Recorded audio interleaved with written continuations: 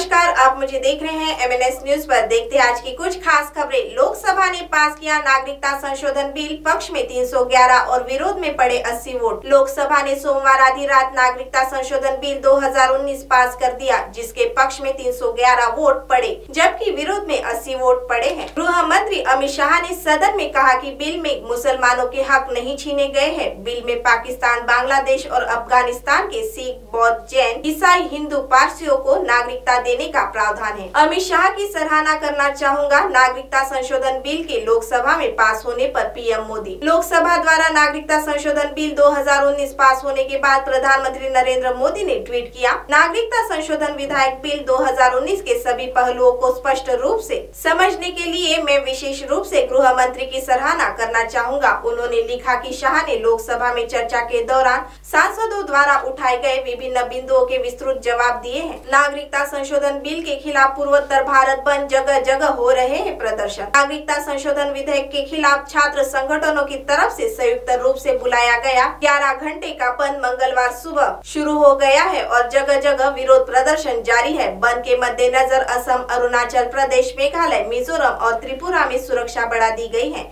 हालाँकि हॉर्न हालाँकि हॉर्नबिल महोत्सव के कारण नागालैंड को बंद से बाहर रखा गया है। अब आप हमारे चैनल को ऐप पर भी देख सकते हैं। प्ले स्टोर में जाकर एम हिंदी लिखे और ऐप डाउनलोड करें।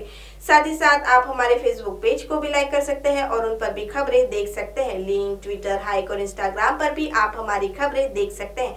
आप हमारे चैनल को यूट्यूब पर भी देख सकते हैं और इसे यूट्यूब पर सब्सक्राइब करना बिल्कुल भी ना भूले। फ़िलहाल वक्त हो चला एक ब्रेक का। ब्रेक से लौटने के बाद देश और दुनिया की तमाम खबरें देखने के लिए बने रहे एम न्यूज़ के साथ। नमस्कार।